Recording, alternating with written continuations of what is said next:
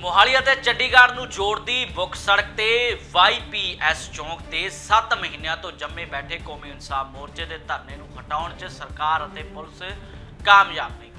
ਪੰਜਾਬ ਅਤੇ Haryana high court ਨੇ ਦੋਵਾਂ ਧਿਰਾਂ ਦੀ ਮੰਗ ਤੇ ਗੱਲਬਾਤ ਦੇ ਮਾਧਿਅਮ ਨਾਲ ਧਰਨਾ ਹਟਾਉਣ ਲਈ 3 ਹਫ਼ਤੇ ਦਾ ਸਮਾਂ ਹੋਰ ਦਿੱਤਾ ਹੈ। ਭਾਵ ਮੋਹਾਲੀ ਅਤੇ ਚੰਡੀਗੜ੍ਹ ਵਾਸੀਆਂ ਨੂੰ 3 ਹਫ਼ਤੇ ਹੋਰ ਪਰੇਸ਼ਾਨੀਆਂ ਚੱਲਣੀਆਂ ਹੋਣਗੀਆਂ। ਜਸਟਿਸ ਐਚ ਐਸ ਸੰਦੇਵਾਲੀਆ ਤੇ ਅਦਾਲਤ ਬੈਂਚ 'ਚ ਹੋਈ ਸੁਣਵਾਈ ਸਮੇਂ ਪੰਜਾਬ ਦੇ ਐਡਵੋਕੇਟ ਜਨਰਲ ਖੁਦ ਅਦਾਲਤ 'ਚ ਪੇਸ਼ ਹੋਏ ਅਤੇ ਅਦਾਲਤ ਨੂੰ ਦੱਸਿਆ ਕਿ ਮਾਮਲਾ ਧਾਰਮਿਕ ਅਤੇ ਭਾਈਚਾਰੇ ਵਿਸ਼ੇਸ਼ ਨਾਲ ਜੁੜਿਆ ਹੋਣ ਕਾਰਨ ਸੰਵੇਦਨਸ਼ੀਲ ਹੈ। ਇਸ ਲਈ ਉਹਨਾਂ ਨੂੰ ਜਬਰਨ ਉਠਾਉਣਾ ਸਹੀ ਨਹੀਂ ਹੋਵੇਗਾ ਉਹਨਾਂ ਨੇ ਅਦਾਲਤ ਨੂੰ ਦੱਸਿਆ ਕਿ ਕੌਮੀ ਇਨਸਾਫ ਮੋਰਚੇ ਦੇ ਨੇਤਾਵਾਂ ਦੇ ਨਾਲ ਲਗਾਤਾਰ ਗੱਲਬਾਤ ਚੱਲ ਰਹੀ ਹੈ ਅਤੇ ਛੇਤੀ ਹੀ ਧਰਨਾ ਹਟਾ ਦਿੱਤਾ ਜਾਵੇ। ਮੋਹਾਲੀ ਅਤੇ ਚੰਡੀਗੜ੍ਹ ਨੂੰ ਜੋੜਦੀ ਮੁੱਖ ਸੜਕ ਤੇ ਵਾਈਪੀਐਸ ਚੌਂਕ ਤੇ 7 ਮਹੀਨਿਆਂ ਤੋਂ ਜੰਮੇ ਬੈਠੇ ਕੌਮੀ ਇਨਸਾਫ ਮੋਰਚੇ ਦੇ ਧਰਨੇ ਨੂੰ ਹਟਾਉਣ 'ਚ ਸਰਕਾਰ ਅਤੇ ਪੁਲਿਸ ਕਾਮਯਾਬ ਨਹੀਂ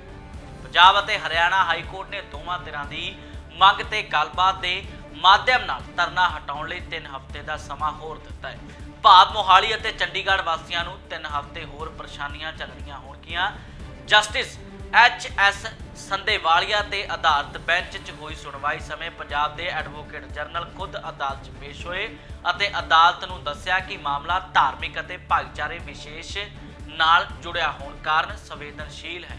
ਇਸ ਲਈ ਉਹਨਾਂ ਨੂੰ ਜਬਰਨ ਉਠਾਉਣਾ ਸਹੀ ਨਹੀਂ ਹੋਵੇ। ਉਹਨਾਂ ਨੇ ਅਦਾਲਤ ਨੂੰ ਦੱਸਿਆ ਕਿ ਕੌਮੀ ਇਨਸਾਫ ਮੋਰਚੇ ਦੇ ਨੇਤਾਵਾਂ ਦੇ ਨਾਲ ਲਗਾਤਾਰ ਗੱਲਬਾਤ ਚੱਲ ਰਹੀ ਹੈ ਅਤੇ ਛੇਤੀ ਹੀ ਧਰਨਾ ਹਟਾ ਦਿੱਤਾ ਜਾਵੇ